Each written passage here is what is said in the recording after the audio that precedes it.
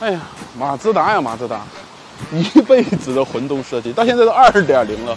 但不得不说，马自达的这个混动设计到现在来看，依旧算是很经典。爪子有美女没？那个黑布罩着的是新车吗？哎，这个造型看着有点像马三的造型。马三不是早出了吗？这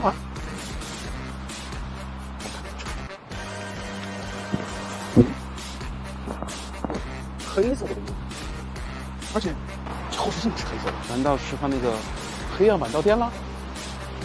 走，我们去沟通一下。A few moments later. 可以了，可以了，沟通完了，这就是马自达的新车马三黑曜版。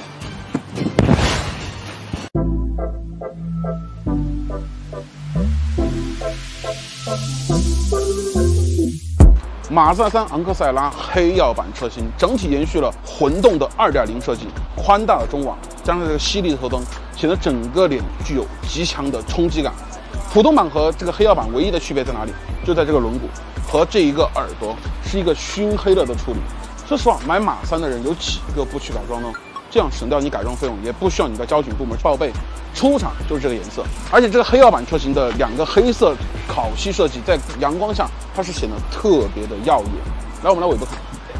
来到整个马三的黑曜版车尾以后，你会发现它延续了普通版本那种简洁干练的一个设计。值得一提的就是这下边保留了双边真双出的一个设计，这样的话让整个马三继续延续了它运动的风格。走上车内。其实你还没有上车，打开车门那一瞬间，你会发现它整个内饰采用了一个红色设计。我不知道相机能不能拍出来这种红色的设计，看上去是和普通的红不太一样的，它叫勃艮第红。勃艮第红其实是一个法国红酒的名字。当整个放在这个车内以后，你就会发现有一种很高端的感觉。在很多细节地方，它也采用了勃艮第红的一个设计，比如说这个呃中控的缝线、挡板的缝线，还有方向盘内部的这个缝线，还有四个门板的红色缝线，全是采用了勃艮第红的设计。那么整个内饰除了这个勃艮第的红色设计以外，嗯，最值得一提的还是这个车机系统。现在车机系统增加了一个 IDM 人马一体驾驶评分系统，这个系统上面显示一个青铜，然后本次得分、平均得分、当前状态，有一个刹车。转向以及加速，其实这套系统的话，就是告诉大家怎么能够理性的驾车。我觉得最值得一提就是这里有一个青铜骑士，再往上是个钻石，然后最高是荣耀骑士。当然，嗯，给我的感觉就像是你开这台马自达三，像就像感觉像是在玩一个排位的游戏，比如说像王者荣耀和英雄联盟。嗯，你拼命的想把自己的排位打上去，其实你把排位打上去的同时，你的油耗是降下来的，因为你你的驾驶状态会更加的科学以及更加的。省油，没想到一个做操控的马自达现在也开始省油了，这个油价确实挺贵的。我要你啊！